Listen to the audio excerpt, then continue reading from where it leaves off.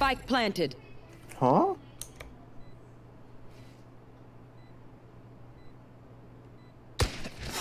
Got him.